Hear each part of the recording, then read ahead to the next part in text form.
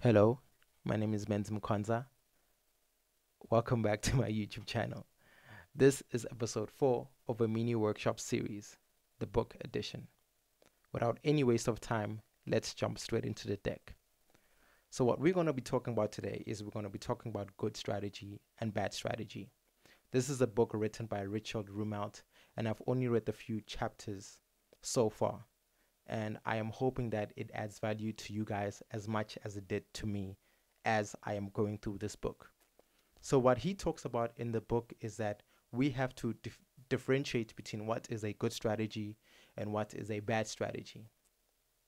But the first thing that we have to learn is what is a strategy? A strategy is getting from point A to point B with a certain type of objective or goal in mind in the book Brand A to Z, Martin Neumeier says that a strategy is a response to how, why, and where it can be applied. In this book, it just gets into so much detail. Strategy is using analysis, concepts, policies, and arguments that respond to high stake challenges. So, also, strategy is a window for opportunity if you are running a business strategy or taking the strategy route or going from point A to point B with a certain level of objective gives you an opportunity to figure out with your team or with yourself. And then we have to figure out what strategy is not.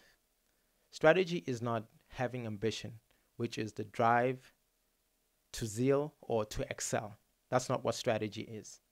Strategy is not sheer determination and commitment and grit. Strategy is not innovation, discovering and engineering new ways. That's not what strategy is. Subsequent to that, we need to also find out what a good strategy is. A good strategy is when you acknowledge the challenges being faced a good strategy concentrates its resources and focuses on a particular type of action. A good strategy says no to a variety of actions. Also, strategy does not focus on what the competition is doing. If you're a business person, we all know that your, your strategy is solely developed under how your business is doing financially we can't have big ideas or big goals or that need big money on a shoestring budget. And then we have to find out what is bad strategy. Bad strategy is fluff words, which is the illusion of high level high level thinking. Bad strategy is the failure to face challenges where you cannot evaluate a good strategy or improve it.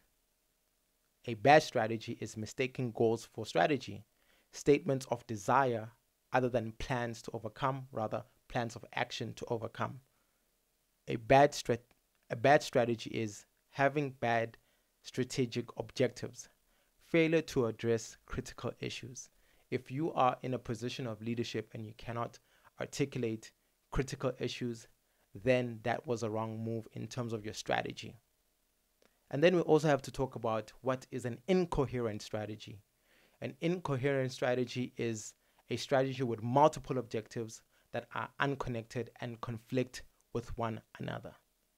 So these are the some of the content that I've learned so far in the first few chapters of the book, and I hope that you guys will go out there and read the book uh, because I feel like it was so valuable to me that I should share this information. As you know, I teach while you learn, and also I teach while I learn, and also in your definition, what is a good strategy? What would you consider as a bad strategy?